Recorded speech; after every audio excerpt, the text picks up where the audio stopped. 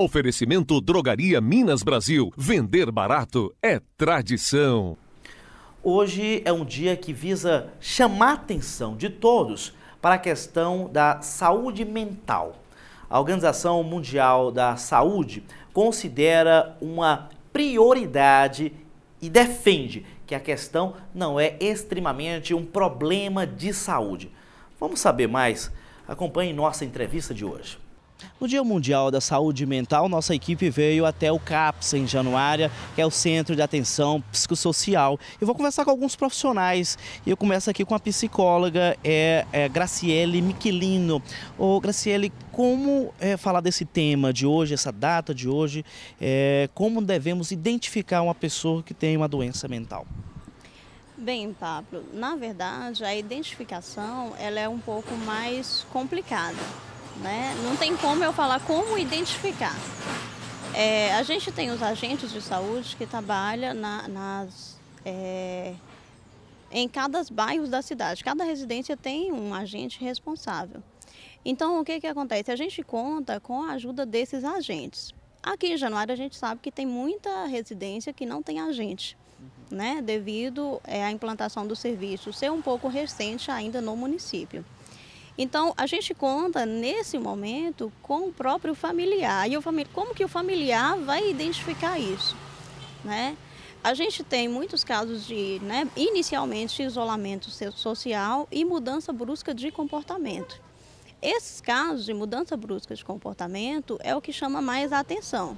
Né? A pessoa ela vivia socialmente, é, digamos, entre aspas, uma, como uma pessoa normal e de repente ela mudou de comportamento o que que ocasionou essa mudança de comportamento e o que que isso pode trazer para esse sujeito.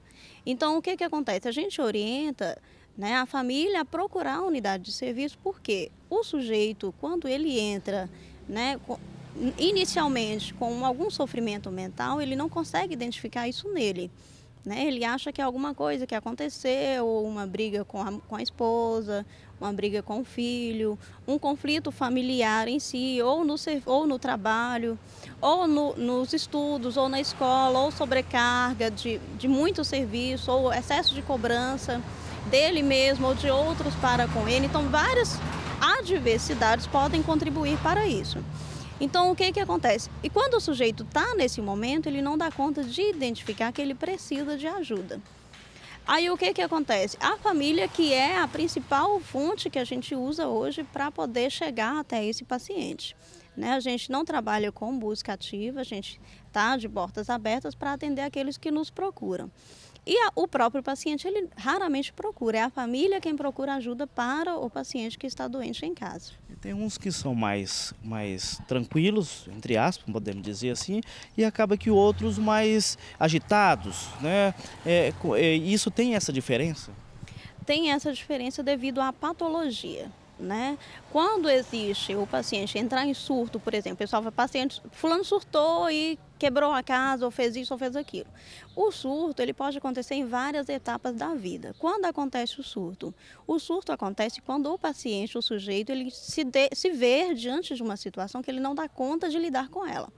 Nesse momento, ele dá uma passagem, que a gente chama de passagem ao ato. Ele começa a é, emitir comportamentos que, em sã consciência, ninguém de nós faríamos.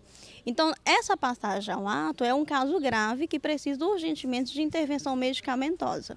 Né? Agora, existem os outros casos mais tranquilos que, em, em, maioria, em sua maioria, nem há necessidade de intervenção de imediato de medicamento, mas o acompanhamento psicológico para que esse sujeito dê conta de lidar com a, com a adversidade que o levou a esse sofrimento. A passagem ao ato, ela pode acontecer em várias fases, como também em várias idades da vida do sujeito. Então, não pense que você, na idade que você está, por exemplo, né, você está livre de, de, de desencadear um surto né, em algum momento. É lógico que a gente tem as estruturas que né, não cabe falar aqui agora, que é muito, muito complexa, mas a estrutura do sujeito favorece para que ele entre em um surto psicótico. A questão da depressão, ele está associado em que sentido isso? A depressão, a gente tem hoje, né, muita gente ainda fala, né, tá na mídia aí como a doença do século. Só que a depressão ela tem várias, vários momentos e várias fases. Né? É, por exemplo, a gente tem muito paciente hoje que teve depressão pós-parto há 20 anos, né? não fez tratamento e agora vem uma, um caso recorrente que ele não dá conta de dizer o que, que aconteceu, só sabe que não tem mais prazer em viver. E tem aquele outro paciente que tem depressão e não sabe. Né? Ele acha que é normal, que ele está passando por isso, por causa disso, ou por causa daquilo, ou está pagando por um pecado que cometeu. Então, devido a isso, ele não consegue identificar que ele está em sofrimento mental nesse momento. Marcelo, para encerrar aqui, é, qual seria a sua mensagem nesse Dia Mundial de Saúde Mental? A mensagem é, né, todos nós temos a saúde mental, temos uma cabeça, né?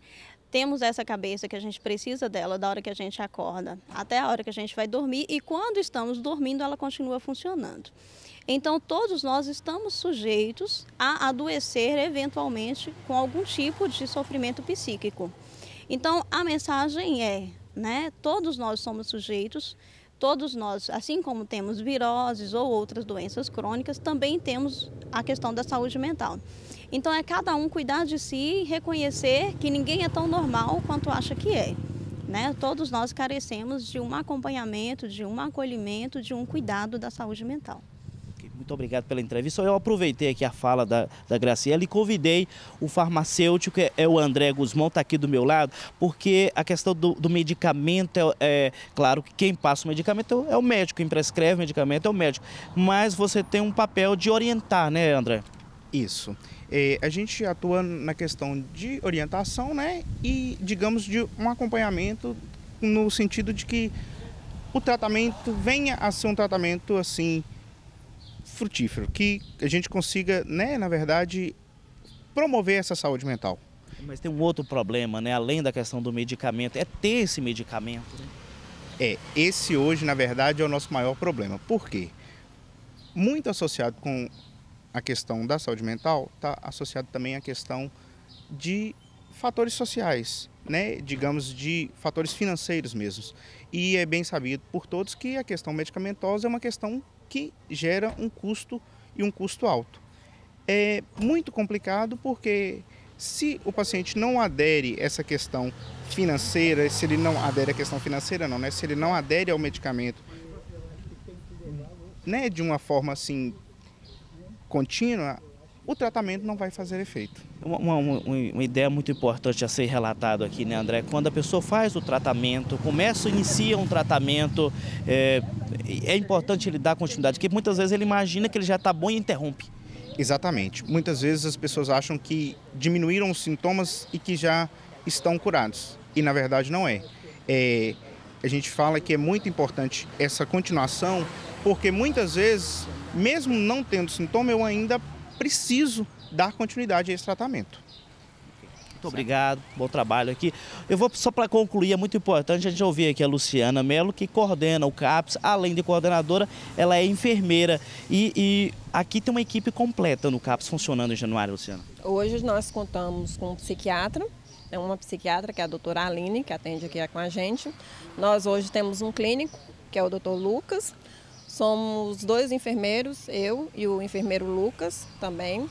Tem a psicóloga Graciele, que acabou de conversar com vocês, o farmacêutico André e o assistente social chamada é, Gisele. Né? Então, é uma equipe, que a gente fala uma equipe mínima, né, que pode estar atendendo toda a demanda que o município necessita. Lógico que a gente pode ter outros tipos de profissionais dentro do serviço, educador físico, que a gente está buscando, né, para poder estar atendendo toda essa demanda.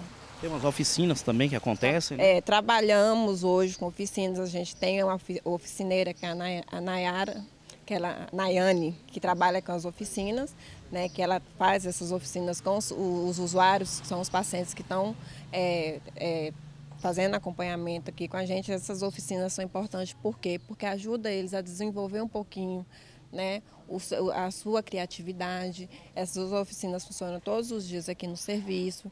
Então, o paciente que acompanha aqui no serviço, a gente convida para poder fazer parte das oficinas.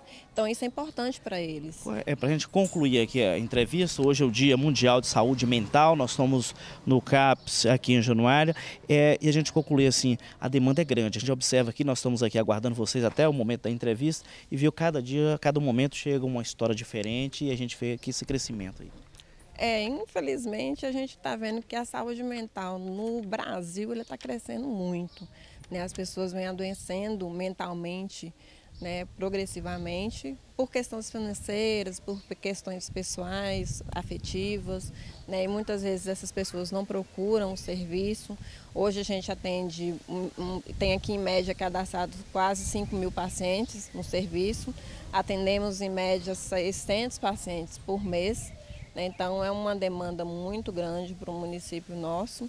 A gente busca muito o apoio dos outros serviços, da atenção primária, do hospital, dos, dos CRAS, do CREAS, né, do pessoal da assistência social, Conselho Tutelar, que a gente tem que fechar uma rede realmente de cuidado, porque o paciente ele não pode ser só cuidado dentro da saúde mental, ele tem que ser cuidado numa rede. Okay. Para finalizar mesmo agora, uma mensagem rapidinho aqui para os telespectadores, quem nos acompanha. A mensagem é: vamos cuidar da nossa mente, vamos cuidar do nosso coração, porque o coração ele influencia na mente. Às vezes eu acho que eu estou bem, mas né, eu vou fazer, procura fazer uma atividade física. Se eu realmente não estou bem, procura o serviço, vamos fazer um acompanhamento psicológico, vamos fazer conversar. A conversa é muito importante né, para que você não adoeça. Porque às vezes eu acho que eu estou bem, mas eu não sou bem, sou 100%, assim como disse Graciela. Okay. Muito obrigado pela entrevista, obrigado Graciela, obrigado André. É o nosso papel de serviço de informação de orientação da TV Norte hoje no Dia Mundial da Saúde Mental. O tema do Dia Mundial da Saúde Mental é dignidade na saúde mental, primeiros socorros de saúde mental e psicológica para todos.